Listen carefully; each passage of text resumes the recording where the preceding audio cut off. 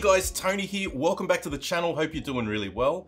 I have a really special video for you today and I'm really excited to present Brian who is the owner of one of the room tours that I recently did on my channel. Brian's room tour has brought in an incredible 460,000 views at the time of recording this video which is absolutely insane for my channel. It's the second ranked video on my channel and we thought what we do is we get Brian on because the community has had such a positive response to his room and we'd get him in and answer some of the questions that you guys are asking down in the comments section. So I'd like to welcome Brian.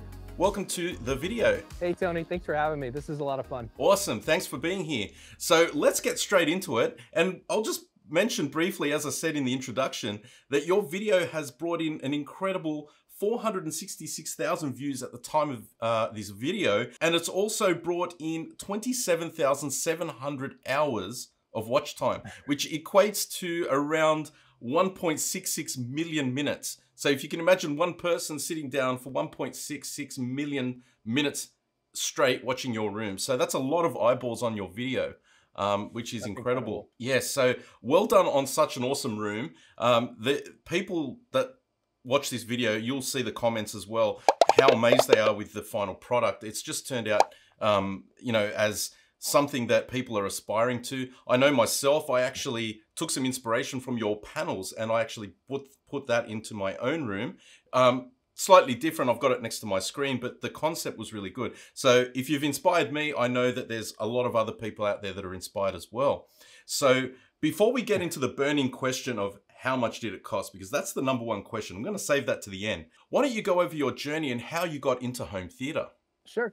Well, a lot of it came down to uh, just being stir crazy during the pandemic. You know, I'm sure your your part of the world was locked down uh, as well as mine. And in Oregon, I kind of joked on the video. I said sunny Oregon, and I think only one person really picked up on that because it was kind of a tongue-in-cheek thing. It's raining in Oregon all the time. You know, well, summers are nice, but at this particular time, everything was shut down. You know, we couldn't go anywhere, do anything, and it was pouring down rain. So we couldn't even really go outside. And I was just losing my mind. And at the same time, I was kind of talking to my wife about I need a hobby and I need it quick. And um, that's when I kind of got turned on to your channel. And it really resonated with me because it combined a lot of things that I love design, tech, um, you know, entertainment great video audio quality, how to tweak things to get it just right and really have a DIY um, you know, background to it. And so um, all of those things, I was like, yes, this is what I want to do. And so my wife said, well, how much does it cost? And I said, we'll get to that. And so, um, you know, we we were building a house at the time too. So we were actually in a rental during the house construction, and I had the benefit of having a contractor that was just entertaining my crazy idea about this because actually this theater is above the living room. So we're on the second story here, and this was supposed to just be an attic, just storage. Um, and I said, "Hey, I have an idea. How about it? How about I turn it into a, uh, a theater?" And uh, contractor, her name's Kimberly. She said, uh, "Well, tell me more about that." So I shared some CAD drawings that I'd figured out. You know, I was just learning CAD. I mean, all of this is just learning. Everything was, "How do I do this?" Um, so I learned CAD, basic, you know, lines and dimensions and I showed that to her and she said, "Yeah, we can frame that out. It wouldn't be too big of a deal. We're already framing it anyway, so why not just, you know, do this and throw some drywall up and call it good." So um, I was really excited about that. She let us come in and rewire or not rewire, but she let us add speaker wire and pull everything and um, that was awesome. Came to find out uh, later though uh, that I needed to redo all of that, so that wasn't as awesome. So once the walls went up, I had to come in, pull all everything out, and then rewire everything uh, with better quality cables. And so, you know, just kind of getting back to the the channel, I was learning a lot of stuff through the videos that you were sharing and what to do, what not to do. A lot of people uh, had questions about dimensions and screen size and how immersive and how close and how close is too close. You know, so I was just, uh, you know, I was drinking from a fire hose for a long time, but I loved it because it's a, it was a hobby for me and it really distracted me from everything else going on. Um, you know, and so finally got to get in here. And once we moved in, took a few months to just kind of take a breath and figure out what do I really want to do? What's the design going to look like? What, um, you know, what's the equipment going to look like? And what kind of budget do I have to work with?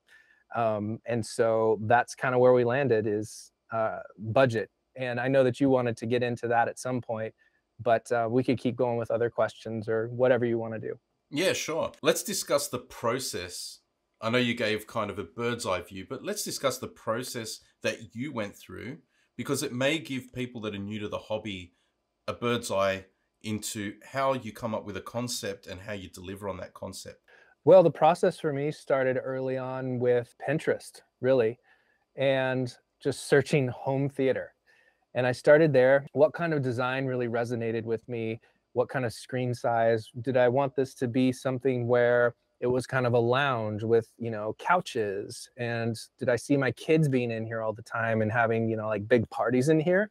Or did I want it to feel more like a theater vibe, you know, with a very limited seating, how we've ended up here with six seats? Um, and uh, have it very very focused on the screen and not so much like a hangout space. And um, you know so through pinterest i was really trying to nail down the aesthetic and the experience and how much space i had to work with until i really labeled er, i really um, narrowed in on kind of like a mid-century modern vibe. And you saw a lot of that more and so in the in the lobby than you do in here. Um, but you know uh, the thing that resonated with me uh, a lot in looking at other people's theaters is that i tended to really enjoy the simplicity in the design. And i know some people when they look at their theaters um, you know they want to put um, all of their action figures or their design or their movie posters and and i think that stuff is really cool. But for me i'm not very good at that stuff coming up with those levels of detail or things that you know a lot of color and detail and stuff like that. So I thought maybe I'll just create like the screen will be the hero and the rest of the theater just like I turn the lights off. Like I don't, you know, the speaker covers are on the speaker. So you, I'm not showing those off or anything. Everything's very clean and simple. Lights go down and I'm just focused on the theater or I'm, I'm focused on the screen. And so that simplicity really resonated with me. So once I had that aesthetic and I had the idea of like, okay, it's going to be six seats and we're going to do a riser. Um, and I think I remember in one of your videos talking about how uh, you had had six seats, or you had you actually removed some seats because the reality was that it wasn't getting as used as much by your kids, you know, or just people coming over as you thought maybe it would be. And we've definitely seen that too. But we have a big family, so a lot of people will come. We're actually having the opposite problem of you know the kids want to do a sleepover and they want to invite their friends. I get kicked out, you know, because there's just not enough room. Um, but that's fine. They they love it. And so uh, taking that all into consideration, then the next step was kind of identifying, okay, what's the screen size, the quality, what you know. I still have a long way to go, and we can talk about this later of just things that I wish I would have done differently or would have done at the start. Um, but you know, I was able to work with a theater consultant that just kind of helped me identify some hardware for the budget I had, some you know a projector for the budget I had, what I, what I was going for, and that was super helpful. Just kind of having somebody walk alongside me to say you need to think about these things and. Um, but the whole process, like I said, was drinking through a fire hose. Like every step of it, you, I mean, you've said it before. Like you can you can go down this rabbit hole as deep as you want on any aspect. I could spend hours just looking at screens and trying to figure out what kind of screen I want. And that's just you know one one hundredth of all of the things that are going on in this room. So um, it definitely kept me busy, and I was grateful to have a project that was distracting me from just everything else going on. Um, but it was overwhelming at times too. Um, you know, and asking my wife for her feedback, and we have a very different aesthetic. She's very light and bright, and I'm not. And so the rest of the house is just light and bright and I was like, I need my room, my space. I'm gonna make it dark. I'm gonna make it moody. I'm gonna do the textures that I want and all that. She's like, whatever. I don't, you know, as long as you stay within budget, um, which I did. So, uh, you know, that that um, that process was really difficult because you second guess so much of what you're doing because I've never done it before and I want to do it well. And so I'm just like, is this the right color? I don't know. Is this the right screen? I don't know. So a lot of it was, I kind of like this, but I'm not feeling very confident about it. Um, so I was very insecure going through this whole thing. Um, so it's really cool to come back full circle and post, you know, just the the whole process and the result and see that a lot of other people resonated with it as well because somebody like me, you know, it's like ah, I just don't. It works for me, but you know, I don't know about this or about that. Should I've done this differently? Um, and I'm sure I will do some things in the future a little bit differently, but I'm really happy with where things have arrived. Yeah, that's excellent, and it, it definitely has resonated with the community. That can be seen by the sheer amount of comments and views that the videos had, and the amount of questions that we get.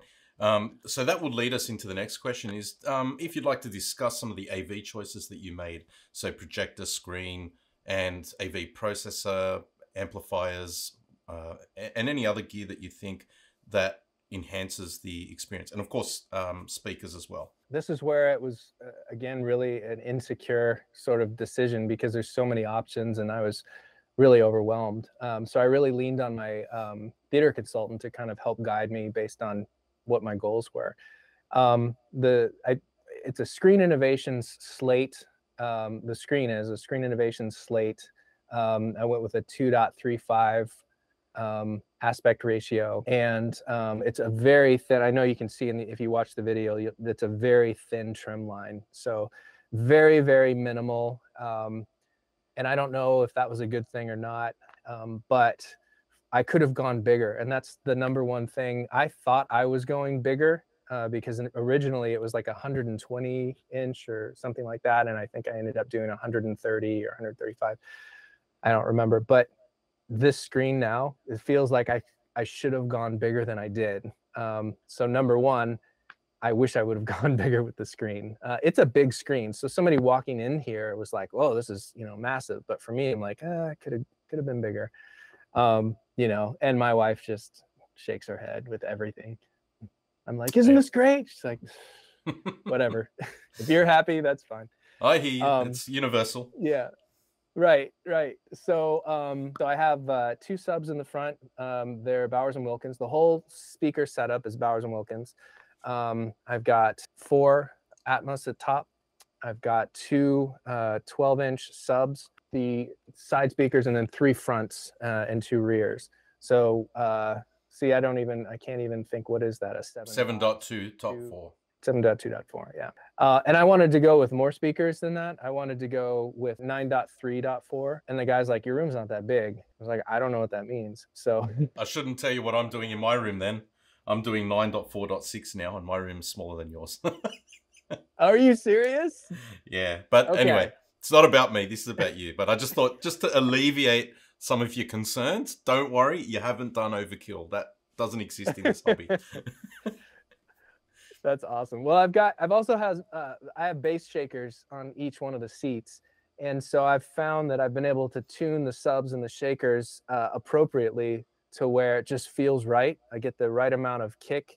Um, but I always feel like I could use a little bit more bass and the whole riser is a bass trap. I think mentioned you mentioned that in the video before.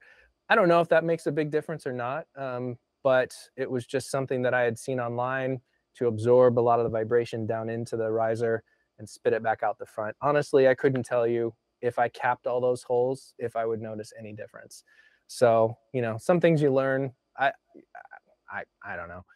Um, as far as the rack goes, I think I wish I would have done a taller rack just for for future space. I have um, an Anthem, uh, what is it, an AVR 940 or 941? MRX um, MRX 1140. Sounds right. I think from memory, MRX 1140. You know more about my theater than I do, but it just goes to show like I'm very like very new to all this.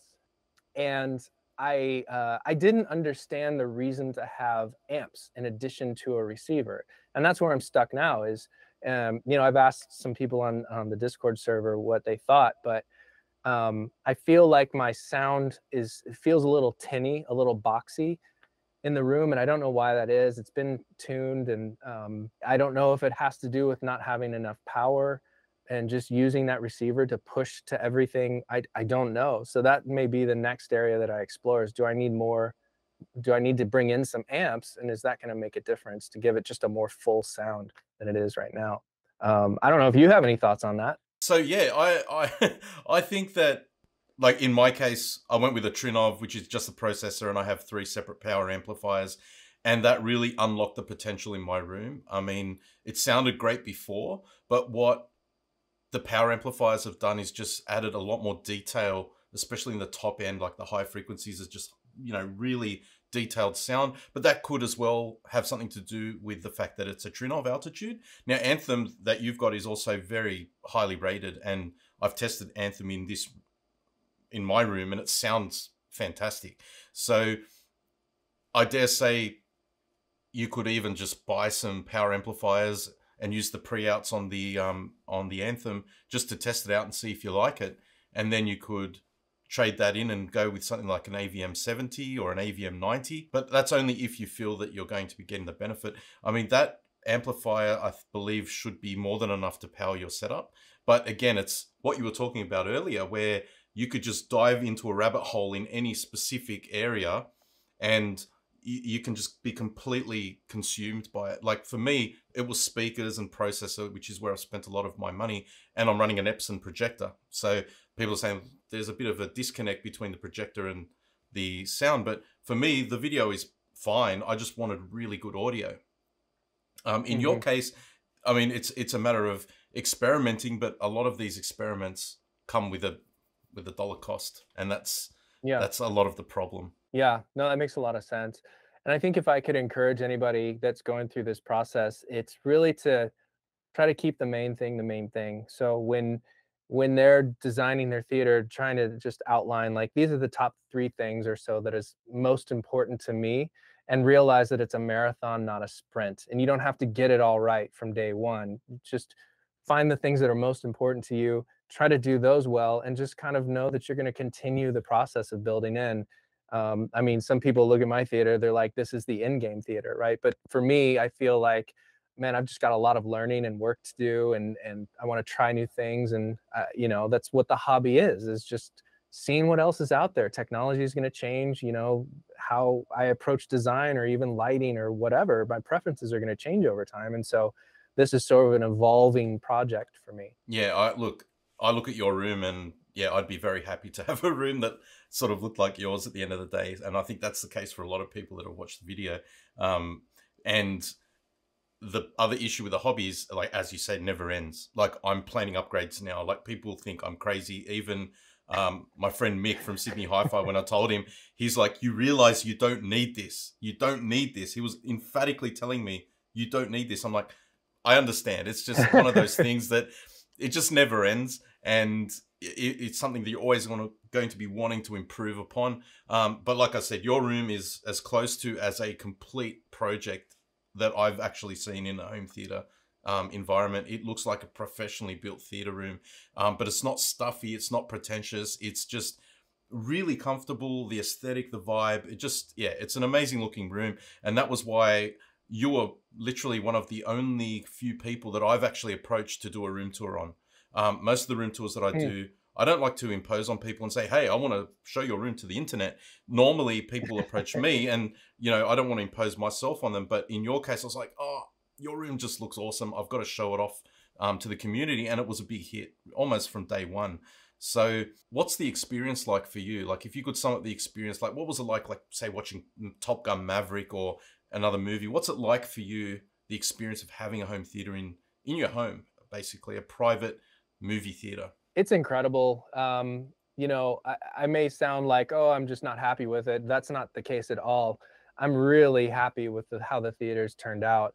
And um, you know, on rainy days like it, has been this week here up in Oregon, um, you know, to be able to just come up here, you know, for an hour or so and just it's been a day, you know, and um, I just need a little bit of time. You know, some people like to take a walk, and right now I've torn my ACL and my MCL and my meniscus, so my left knee is shot, so I can't do that. Um, so the way the way that I'm sort of relaxing right now is I'll just come up, throw on something, uh, and I'm become like a snob when it comes to, like if it's if it's showing like 1080, you know, HD, I'm like never mind, you know, and forget it. Um, but no, I'll I'll come up here. You know, I, I'm using Home Assistant now, so I've got it all set up to, you know, the the shades, everything drops. So I just I'm like, oh, I just need 30 minutes to come up and everything is quiet in here. It's calm. just throw something on. I just always enjoy being in here. I don't even need a reason. Somebody's like, hey, uh, I got a quick phone call. I'm like, oh yeah, I'll just go up in the theater. It's nice and quiet up there. You know, I can't say enough great things about just having this. It's it's been such a cool thing for me and for my family. Um, but it's also just been a way for me to not be, you know, driven crazy by pacing around the house, and I'm not driving my wife crazy with like, hey, you wanna wanna go do something? I'm feeling pretty bored. She's like, I've got stuff to do. I'm like, all right. yep, totally. I can relate. I can relate to a lot of that. Um, so why don't you tell us some of the things that you think that you really nailed in the room? Like some of the things that you look at and you go, I got that right. Like that's just turned out really well. Well, uh, in the lobby especially, I was really happy with how the bar turned out um, how all of the I did baseboard lighting. I think you showed that in the other video. I really like how coming into the theater, the the soft close mechanism, auto close mechanism on the door, and the push plate. That just all seemed to make a lot of sense to me. Design wise, I love the sign. So I I did the I designed a logo for the theater because that's just what I do. And I brought that into a sign, into napkins. In fact, I've got use one of the napkins right here. Yeah, it's very cool. Very, very cool. Yes. Um, so just those little touches, I feel like were just made it special um, to us and personal. I really love the carpet. I know some people are like, you should have gone dark. Um, you should have done this. You should have done that. And that was one of the points I agonized over because they do have a darker version of this carpet, but I, I absolutely love it. I think it's just so unique to a theater and really brings along that mid-century modern vibe. I really love the seats. I am so glad I went with these uh, Valencia seats because they are so comfortable. Um, everybody loves them that sits in them and they just hold up. Like they are just such good quality. Um, so glad I went with those. What other things? I think the lighting, I really love the the lighting that has been done all around. Everything is smart lights you know depending on if a movie's playing or not the everything changes you know to make it just more comfortable and i hit pause and the step lights come up and you know just so like some of the lighting and automation there i feel like just was uh, it was exactly what i was hoping for. And then the acoustic treatment i I didn't know much about it and still don't, but I feel like I put a lot of acoustic treatment in here. And as soon as you walk in, I think you've done this too on your um, on a video. You walk in and it's like you just get enveloped in this silence, this deafening silence. And I feel like this room just feels different. You walk into it and it just feels like you're in a studio or you know a theater. And so I feel like yeah, those things I I would think I would say I nailed it on that. I'm really happy with. I don't think I'll change that for a long time. Moving along to what you may have done differently, because I know you mentioned a few regrets, including the screen, but maybe just touch on some of the things that you would have done differently, which could be things for people to consider when they are going through this process. Well, I don't know how much flexibility people have with this. I would have, from the very beginning, uh, I would have put this in a basement or a more accessible place for friends if I could have. Early on, we could have dug out um, our basement and we just chose not to. But this would have been perfect for that because it feels really weird for people to come up upstairs into sort of like, you know, everybody's bedrooms you're walking past and stuff to come into a theater. It it just feels it feels weird. Whenever I have friends come over, you know, it, it just doesn't feel like it's very accessible to them. So I would have put it somewhere else. Number one, yeah, the screen. Number two, I think I would have done uh, a little bit differently. I would have given myself better climate control in here. I didn't realize how warm it would be. I have one vent in here, but the problem is that, you know, with the Google sensor, it's great, but the rest of the house, it's all on one system. So you're trying to cool six bodies and a projector down in here, which gets really hot. And all of a sudden, the rest of the house is freezing cold and so I wish I would have been able to figure out a dual system here, maybe a, a mini split. I don't know if you guys have those or not. Uh, we do in Australia. Okay, it's Australia, so it's uh, very hot in this country, as you can imagine. Like it gets super yeah. hot, so we right. we live so on air conditioning all the time. Okay, so you, you know what I'm talking about. Um, yeah, the climate control, I wish I would have done a better job with that. I think I wish I would have, just in that same vein, I wish I would have put um, an intake somewhere around the projector to just see if I could pull more heat away. So I've upgraded the, I've upgraded the projector. Um, it's still, uh, it's still a Sony, but now it's the the latest like 4K laser that came mm-hmm. out. The guy that I was working with on it, um, we were having so many problems with the iris clicking and stuff, and it was apparently a common thing uh, he, that Sony just took it back and they upgraded me. Uh, I mean, I had to pay for the upgrade, but they were just like, "Yeah, let's just we'll just take it back and we'll we'll work with you on it." So the projector was a big one. I I I was happy with the project projector that I had until it started to cause problems.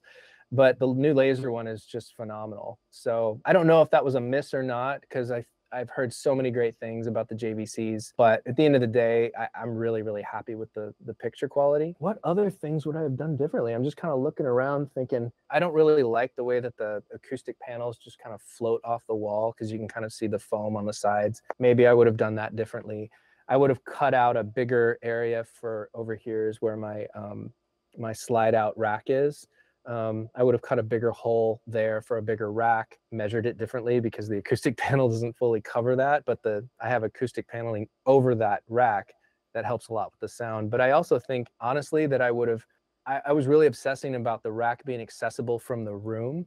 And so that's why I cut the hole. I don't think it's that important. Honestly, in retrospect, I would have just put it in the closet, not cut the hole, and just left it as is because it was just it, it wasn't necessary. I think I I overthought that one for sure. It does look cool though. I will say, like from a nerd perspective or geek perspective, I thought it was really cool how you can just pull the rack out inside the room. If I could do something like that, I would. I mean, but like you, I uh, was suggesting I put my rack on a different in a different room just to keep it separate uh, for heat and noise yeah. and things like that. But yeah, I think it was pretty interesting how you were able to cut the hole and have it all meshed really nicely. And I think that's the thing with your design is every element in that room just seems to have a purpose and it all blends really well together. And and it's not like this is like from a different this is a different look and this is a different look and this is a different look and this serves a different purpose.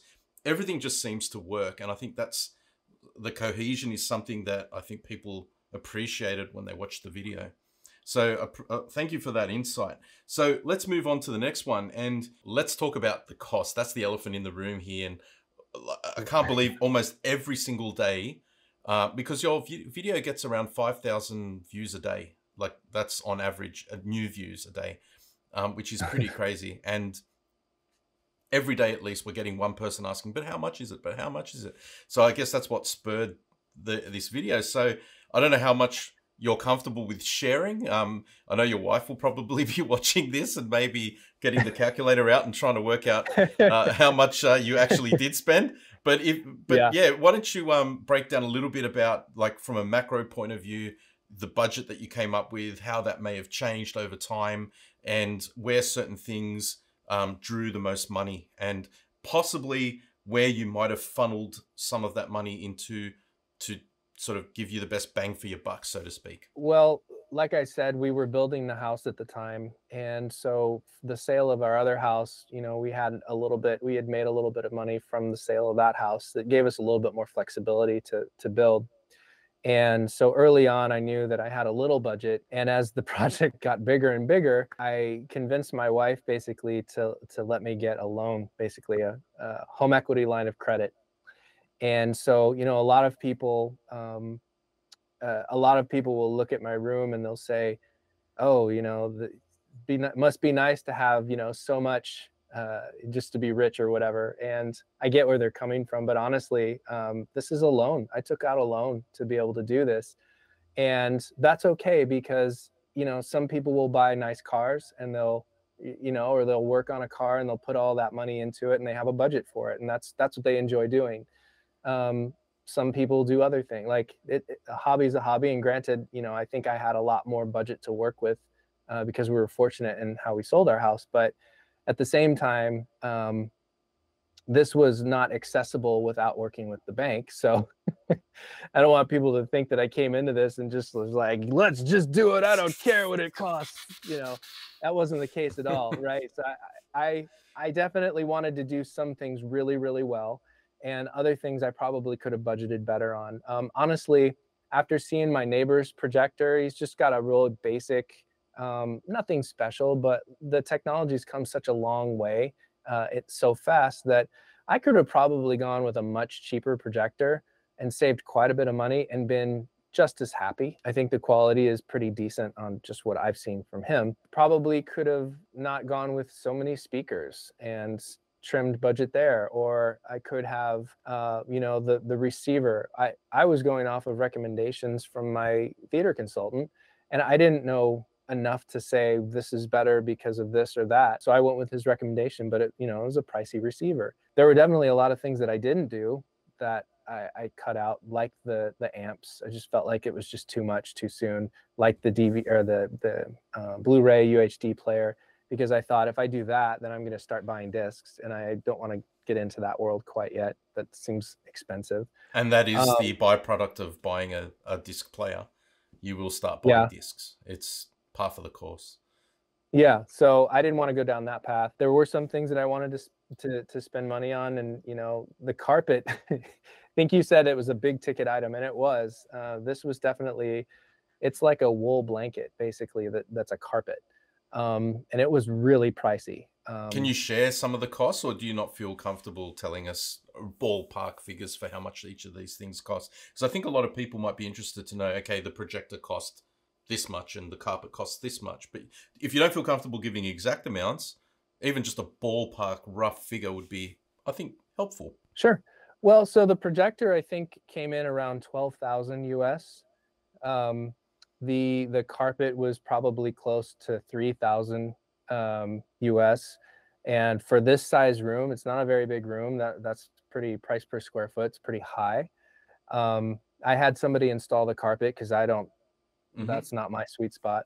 Yeah. Um, you know, I had somebody build the bar for me, um, who was just a um, does a he's a you know carpenter, does really really great work. Um, he was pretty new to the starting his business, so he gave me a good deal. But I think you know, even the bar cost, uh, I want to say it was like 2200 or something like that, uh, 2200 US. The receiver, I think, came in 2000. And then we had a, a sub amp as well as the butt kicker amp. So those were two different. And I think the, the combined cost on those was probably close to three or 4,000. I could go, I, I kept a list of, of everything and, you know, I could always post that in the notes later. I don't, I don't mind that people yeah, it's only what you feel comfortable with sharing. It's uh, it's obviously budget's a personal thing. You know, people will have their own opinions on it, but it is helpful for people to understand. I actually did a video breakdown myself. I'll I'll leave a card up above if you're interested in seeing that. I have done a split between Australian dollars and American dollars just so people can get a rough idea. So for example, then you've also got the seating. So the seating would have mm-hmm. probably cost a fair bit as well. Yeah, the seating was was pretty pricey. That was another big ticket item, but again, I was so glad that I did that cuz I felt like I had seats in my last house that were were okay, but after about a year and a half, they looked great, but they just wore out really fast. Mm. And I mm. think I had spent like $3,000 on those on those four seats and I you know, maybe spent 5 or so thousand, uh, 4 to 5,000 on these seats and I can just tell they're going to last for years. Um, and so I was happy to make that. I felt like that was a good uh, a good spend, a uh, good budget item. Oh, look, I'm a um, brand ambassador for, for Valencia, so you won't hear me saying anything bad about Valencia. So. You won't complain about it. No, well, I, I, love, I love Valencia. Yeah, they're great. Um, I think in total, I, I ran, um, I ended up being just north of 60,000 on the whole project and that was with me and my dad doing a lot of the work ourselves. And i think that that's you know some people have asked well what does this cost? And um, it really depends on it's like well it depends on what you're going to do and how much of the work you're actually going to do. So the only things that i didn't do are the carpet and the bar.